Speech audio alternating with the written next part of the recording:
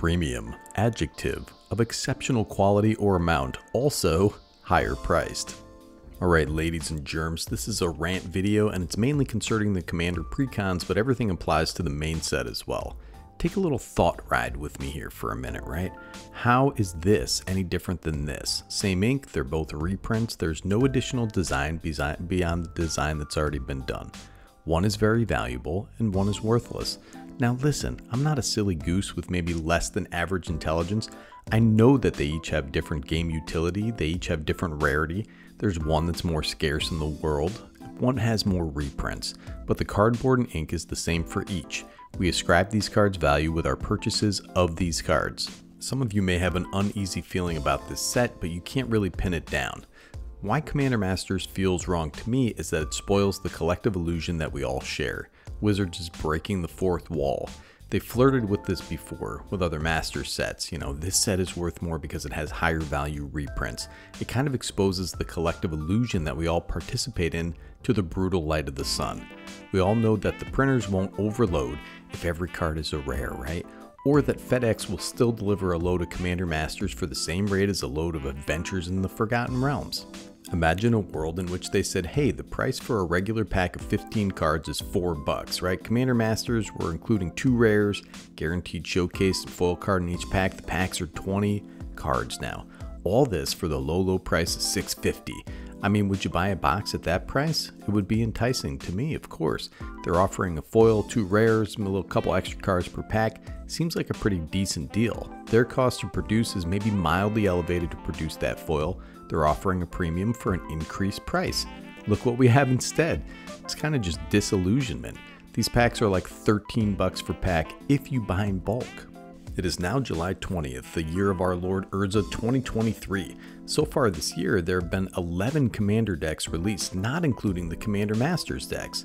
Spoilers for those have been rolling out all this week, and the community at large has been decidedly underwhelmed though Eldrazi Unbound seems to have some higher value reprints and bring some needed support to the Eldrazi archetype.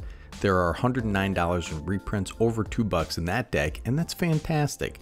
When you factor in the premium cost though, currently $163 on TCG Player, it's absolutely unattainable for most people. Just take a minute. Listen, I can hear you typing as we speak. You're in the comments. Oh, Nicky G's poor. He's crying about not having $163 to spend on a commander deck. What a loser, dude. I'm gonna speed off in my Lamborghini. See ya, brother. Well, listen, just hang on a second. The same 100 card deck, the same card stock, the same printers, the same delivery network accomplished the same product for 50 bucks a month ago. Dude. See, the idea behind these Commander Masters decks is that they're premium, right? And thusly cost double what a normal Commander deck does. $80 minimum for these with pre-sales much higher than that. Much, much higher, my friends. There is precedent for what a commander deck should cost, right? All the way back in 2013, old Nicky G started buying precons with the Grixis precon Mind Seize. They've experimented with this over the years, but back then the deck came with three oversized foil cards of the three commanders. These decks retailed at the time for about 35 bucks, right? To this day, you can still get this precon for 65 to $75. A 100 card singleton deck, I mean, what the heck do you want from my life? All right, and then 2014, we introduced the five monocolored commander decks, and at this point, I think the retail price went up to about $40. I remember buying it in Walmart and being like, oh, it's a little more expensive. Same thing, 100 card singleton deck with a foil face commander. The value in these decks was actually pretty insane. This was the last uh, reprint of the Medallion cycle. There were a bunch of solid new cards and reprints in these decks. I think I got two of them. Alright, well fast forward a little bit to Commander 2017. These decks were 40 bucks retail and included some of the most sought after cards in all Magic the Gathering. Alright, that was five years ago. Listen, things get more expensive over time. I get it, right? I also get that we went through a period of tumult for three years. Believe me, I understand all that. All right, let's take a look at a more recent offering for comparative analysis. March of the Machine Commander has the standard 100 card Singleton Commander deck with the two foil commanders, 10 Planechase cards, 10 double sided tokens, and a planar die, and a, the foil etched thick commander, which is basically worthless. Plus, those two collector booster part cards in the sample pack, which are probably going to be doo doo. At least in my experience, they're doo doo. This to me is a premium product, right? There's an extra amount of stuff, those extra uh, Planechase cards and the planar die, above and beyond the norm. They don't have MSRP anymore, but these are all selling for under 40 bucks. except the Cavalry Charge deck, which goes for about 55. The packaging is the same, the amount of cards is the same, except for the bonus Planechase cards and the planar die. It costs Wizards the same amount of money to print, design, and put together these decks. From an overhead standpoint, there's no difference between March of the Machine Commander and Commander Masters Commander Danner Bananer. 100 cards is 100 cards. The extras aside, the meat of the deck is the same. Is there 10 new cards? Is there 7? Is there 17? Does it really matter, dude? The decks are designed for players to be able to get right in and play, but in reality, these decks need quite a lot of tweaking to be able to sit at an even moderately competitive table. The mana bases suck. There are dud rares. I mean, come on, dude. No triomes, no fetch lands, no shock lands, not even a filter land in sight there isn't anything remotely premium. You're not like paying extra for full art or extra foils. You know, these aren't fully foiled out products or anything like that.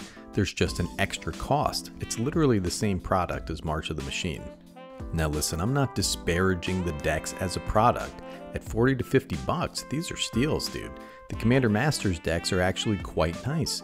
The Lord of the Rings decks come with all new art, 17 new cards, collector booster sample pack, the problem with that product right now is supply is being throttled, so we have a premium price on Lord of the Rings Commander decks for those who want them.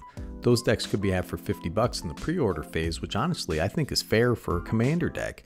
Now that the Warhammer 40k decks have stabilized supply, those can be had for 50 bucks or so at present. So what would you say if the Commander Masters decks had a retail price of 50 bucks? I mean, to me, that's fair. I mean, it's obviously something that they can accomplish for 50 bucks because they just did it two months ago. The Warhammer 40k decks had all new art, tons of new cards, and were great to play right out of the box. They even had to pay for the license of the IP, dude. If you compare $40 2017 decks to $50 2023 decks, accounting for inflation, increased shipping costs, a $10 increase over five years is not a hard pill to swallow. So tell me if you can elucidate me what makes the Commander Masters pre-constructed decks premium? What separates them from the 40 to $50 decks that we've already gotten 11 of 2023? You can point to reprint value, but it's only slightly higher than normal, and I'm being generous here. I mean, say you develop sudden card blindness, right? You couldn't tell one card from the other. Some people say the Commander players already have card blindness, dude. Where's the premium? What makes these more expensive to crack and open? Does the printer chug harder when printing rares? Does the truck get worse mileage with a big load of rares? Dude, come on, it's ridiculous. It's honestly all just an illusion. You can participate or you can choose not to participate. Remember, the mask slipped a little bit when the words, this product is not for you, slipped out of their mouths, dude. This product is not for you, you little stinky butt. It's only for the elites those who can spend as much on a box of Commander Masters as a used PS5. But listen, there is a silver lining. For those of us who like to collect, prices are really decent on some of the sets that have come before. If you look back six months, just like the last Master set, there's going to be fire sales, reprints, and second waves. Just be patient, dude. Don't FOMO. Remember, you have a bunch of cards already. Just go look in your bulk box, dude. You can make 10 commander decks in there, trust me. I'm in your house right now. I'm looking at you in your house, dude, in your bathroom. Pick up a cheap single or two if you want, or you can skip the product altogether, my friends. I love playing. I love Lord of the Rings, dude, but I feel like it's overpriced and I opted right the heck out of that for now. I'm building using things I have or things I can get very cheap. And if there isn't a silver lining for you, well then listen, you've saved money to set aside for your mortgage, buddy. And I don't like to be negative. Listen, as a matter of fact, I like a lot of the designs and reprints in the Commander product here. The decks look sick, but not $100 sick, brother. Snicky G from Better Commander signing off.